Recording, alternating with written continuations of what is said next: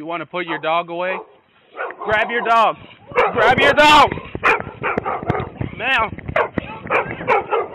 Grab your dog.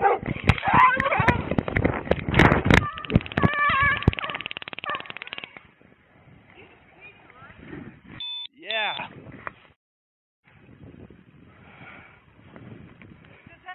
Ninety-nine thirteen taser deployed on the dog. If I can get a supervisor.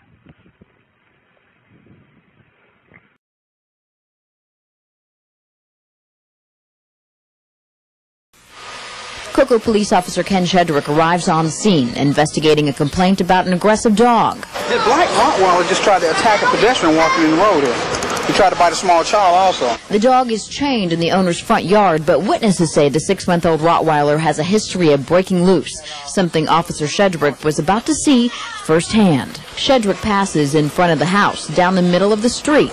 As he returns to his car, the dog tears off the leash and attacks Shedrick. To defend himself, he kicks down the dog. He continues to charge him. That's when Shedrick draws his weapon. In this situation, an officer has a right to shoot, but Shedrick doesn't. Another officer uses a taser, a non-lethal weapon that temporarily paralyzes an attacker. But the dog quickly shakes off the shock and runs away with the barb still in his back. Oh, no, I thought he was going to take my leg off, my foot off. Shedrick says the dog grabbed his foot, but he didn't suffer any injury. And Animal Control says that's why, when the dog is recovered, he was given back to the owner. Well, it's our it's our normal operating procedures uh, to return the dog to the owner if it has not inflicted any harm or it doesn't have any prior history with this uh, department. Officer Shedrick feels the dog may not have a record with Animal Control, but today's incident should be enough to get the dog off the streets. Basically, they're saying they got to wait until he hurt someone. But he came to take him in. Yeah, he came after me. The act itself should justify them taking him in.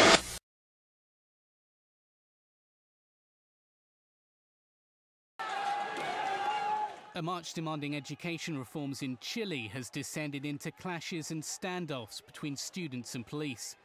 Weapons of choice were mainly rocks, Molotov cocktails, and the occasional traffic light. While police counteracted with water cannon and tear gas.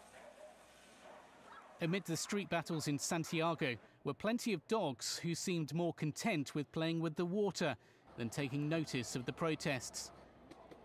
This was the first major student march this year, which passed off relatively peacefully, but ended with violent demonstrations. Demos have been going on for years, and education reform has become a key electoral issue ahead of November's presidential vote.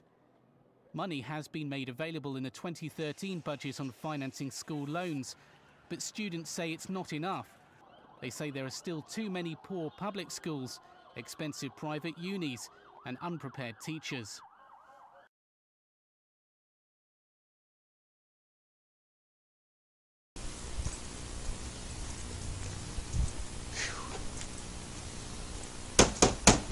Police department.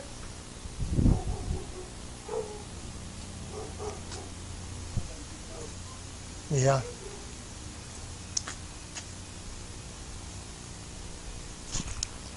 Number 33628.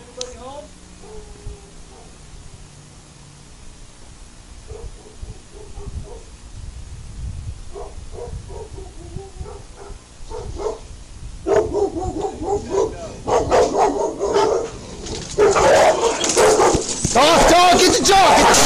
Get the dog! Hey, go on! Are you Back in the house! Get, it, Get on the ground! You just saw Get on the ground! Get on the ground! Just go ahead.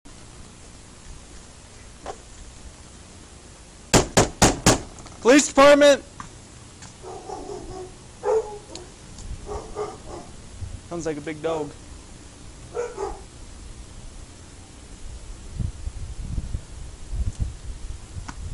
Police department, is anybody home?